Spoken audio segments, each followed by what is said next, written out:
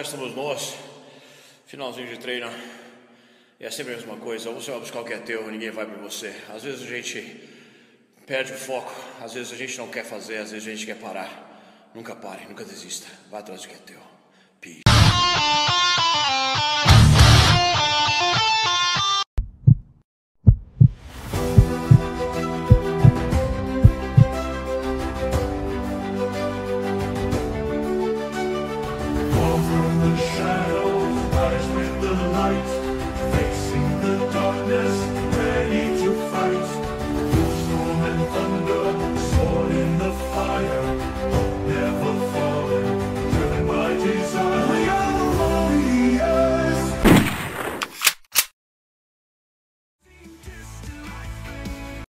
As informações a seguir são extremamente importantes. Você deve lê-las por completo, absolutamente. Nada aqui é conselho médico ou profissional. Olá pessoal, cá estamos nós. Pois é, mais um vídeo. Primeiro, se você é novo no canal, eu tenho 61 anos de idade, eu tenho mais de 1.100 vídeos aqui e fiz mais de 100 ciclos na abuso de esteroides. Conheço muito bem SARMs, peptídeos, AES, combinação dos três juntos e mais outras coisitas que a gente pode usar para ficar anabólico. Pois é, de química eu conheço praticamente tudo e continuo me updating. Significa isso?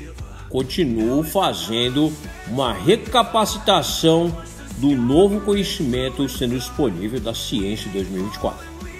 Ao contrário do que eu vi falar da galera no Brasil que continua falando para vocês de ciclinho do século passado.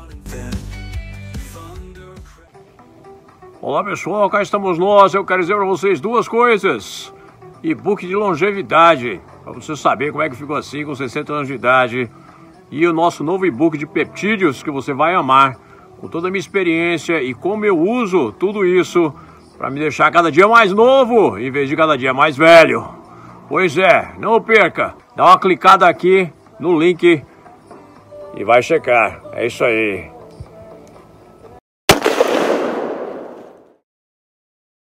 Poço hormonal pode complicar a sua vida. Presta atenção, existem outras opções. Você vai ficar com a sua testa no chão e você vai se tornar um cara sem força de vontade, fazendo, não, não é isso não. Existem outros formatos, eu sei. Eu tenho 60 anos de idade. Já falei para vocês que eu faço de tudo, como um moleque de 20. Esses são fatos. Agora, se você desconhece os fatos, aí a história é outra. Se você não sabe as opções, aí a história é outra. Se o seu médico não tem o conhecimento necessário de 2024 para colocar você no caminho correto, você vai ficar parecendo aqueles burricos aí no Nordeste do Brasil, que o pessoal coloca aquelas vendinhas do lado para enxergar só aquele caminho. E ele não sabe ir para outro lugar, porque aquele na cabeça dele, por falta de qualquer outro tipo de conhecimento, é o único caminho que ele pode ir. Estamos nós, há quanto tempo não falo com vocês? Mas tem uma razão, tudo tem uma razão. Pois é, eu tenho cuidado de várias coisas, inclusive família. Família é importante, não esqueça da sua. Extremamente importante. E obviamente as coisas vão mudando, o tempo vai passando, mas eu voltei aqui para fazer uma série de vídeos para vocês, vídeos especiais. E esses vídeos, eles são naquela linha de sempre do canal, mais de mil vídeos aqui para você. É uma linha que é fundamentada em atualidade, ciência e realidade. Nada de blá blá blá, nada de mimimi, nada de isso e aquilo. Nós vamos falar de um monte de coisas, Bitcoin, de AI, que é inteligência artificial, mas eu escolhi o tópico inicial. A beleza de a gente ter um vídeo que foi postado oito anos atrás e que ainda está lá, é que a gente pode se referir a ele. E dá para ver se eu estava certo ou estava errado. E obviamente eu agora estou com 61 anos de idade, pois é, o meu foco é longevidade, o meu foco é ter certeza que as coisas vão estar no lugar correto biologicamente para mim, para que eu possa viver mais 50 anos ou 60. Você pode estar pensando, o cara pirou o cabeção. Não, na realidade, nós estamos naquela fase singular, naquela fase especial, que é 2024. Em 2030 é esperado que a gente alcance singularidade, aonde a inteligência artificial ela vai adquirir consciência própria. Pois é. E aí você tem que pensar o seguinte: como é que você participa disso? Como é que você se beneficia disso? Como é que você não envelhece? Como é que você vai para frente? Você está com 40, 50, 60 anos de idade, ou 70, não faz diferença nenhuma. O fato é que se você chegar lá, você vai poder se beneficiar dos novos conhecimentos da medicina. Pessoal, a galera trabalhando em longevidade, fazendo um trabalho incrível. Pois é. E o que eu quero dizer para vocês é o seguinte: que você tem que ficar ligado agora nesses próximos 10 vídeos que eu vou fazer. Se você está vendo esse vídeo a primeira vez e não sabe os outros vídeos do canal, você vai ver que eu fiquei pelo menos um ano sem fazer vídeo algum. E esse vídeo inicial, o título qual é? É aquele título especial para mostrar para vocês o seguinte, que quando eu disse lá atrás que carga proteica não tinha limitação de absorção no seu sistema, eu estava fundamentado em ciência e eu estava certo. Pois é. E o ponto da história é que hoje, em 2024, desde a primeira vez que eu comecei a falar que a carga proteica 4,33 gramas por quilo de peso corpóreo era aquilo que você ia precisar, é aquilo que você precisa, pelo menos, para desenvolver massa muscular. Todo mundo naquela época, ah, mas só uma, duas, você não vai conseguir absorver isso nem aquilo, não vai fazer. A realidade é que hoje, hoje a ciência de 2024 comprovou, não existe mais dúvida alguma, e você deve voltar àquela galera, aquela galerinha do sempre, eles ainda estão por aqui. Eu ouvi dizer que tem uns deles que já passaram para o lado de lá, de tanta abusão de esteroides que tomam, ou tomavam, né? A realidade é o seguinte, não existe limitação na carga proteica. Por quê? O nosso corpo, nosso corpo ele, ele se desenvolveu, nosso corpo ele, ele foi é, evoluído não é, ao longo dos milhares de anos. Ele se desenvolveu em cima da premissa epigenética, e é a palavra mágica novamente. Oh, o falando de epigenética de novo. Pois é, a danada da epigenética continua aqui, porque ela prova e mostra para nós como é que nosso corpo se desenvolveu, como é que nosso corpo chegou aonde a gente está agora fundamentado em epigenética evolutiva, a gente chega na seguinte conclusão. Você imagina uma coisa, você imagina se você está na época das cavernas, eu gosto sempre de falar sobre isso. Época das cavernas, época do último era do gelo, é gelado, tem que caçar, tem que se mexer, tem que ir atrás da caça, fazer duas coisas que você tem que fazer para sobreviver. E, em tese, as coisas disponíveis para você se alimentar na última era do gelo e antes disso, era o que estava ali na frente, a caça que você conseguia pegar.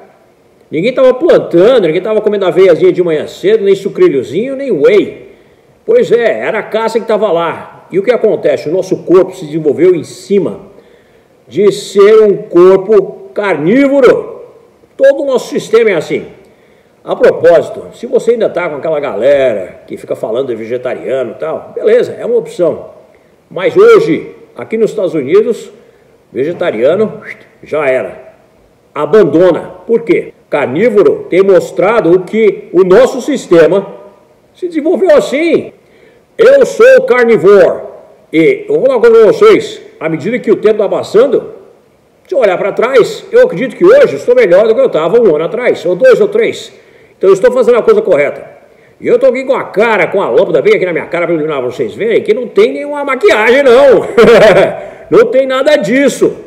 Você precisa ficar ligado no seguinte: a galera que fala para você hoje sobre qualquer tipo de ciência que não fala sobre epigenética evolutiva, que não fala sobre como o nosso corpo se desenvolveu ao longo dos anos, não pode entender, não pode entender de nutrição, não pode entender de treino. Por quê? Porque claramente, claramente, o nosso corpo é acostumado a treinar todos os dias.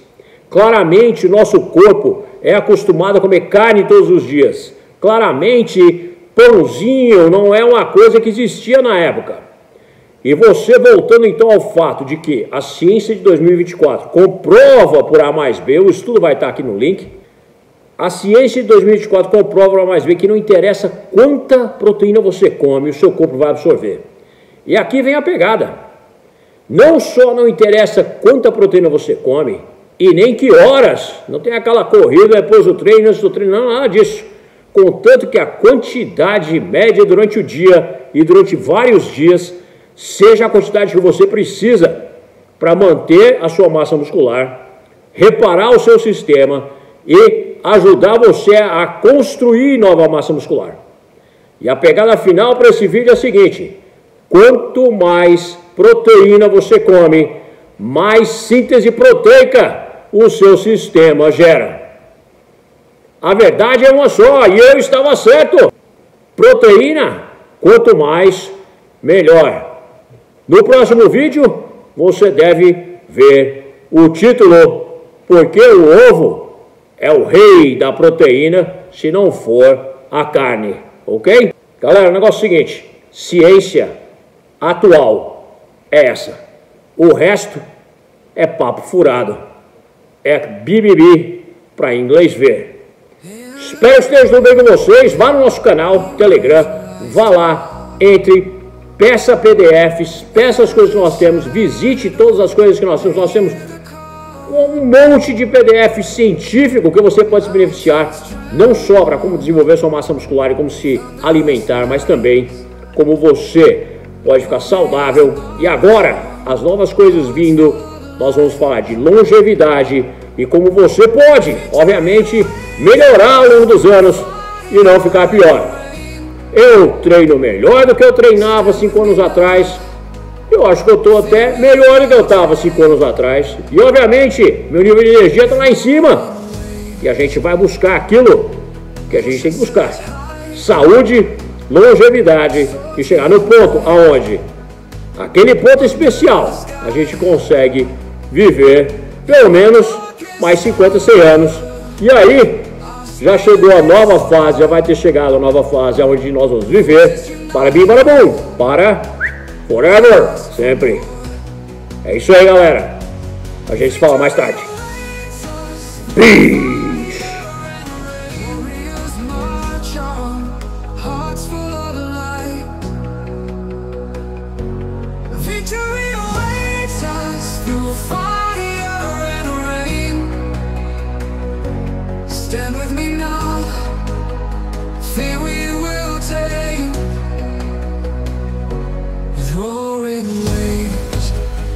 Somos nós.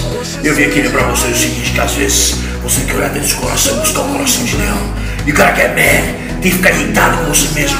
Buscar aquilo que é seu lá dentro de você, só com você. Vá atrás de suas metas. Never give up. Ever. Nunca.